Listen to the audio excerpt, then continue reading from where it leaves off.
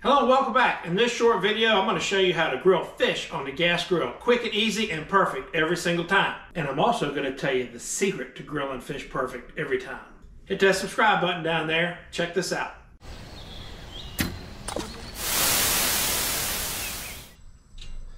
All right, this time let's throw some fish on the grill.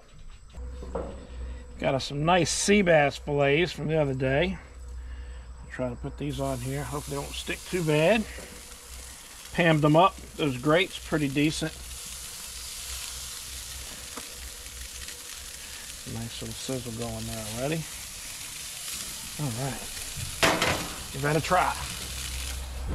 The secret to fish on any grill is to flip early. Don't wait until the fillet's done or it'll break up on you. That Pam did a good job there.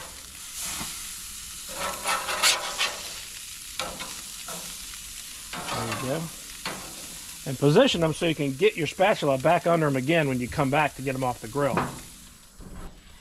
And in just a couple minutes, we are good. Look at that. That looks fantastic. Mm-mm.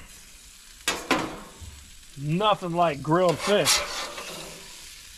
Secret, flip early, hot and fast. We had this grill running at between 400 and 500 degrees on the thermometer.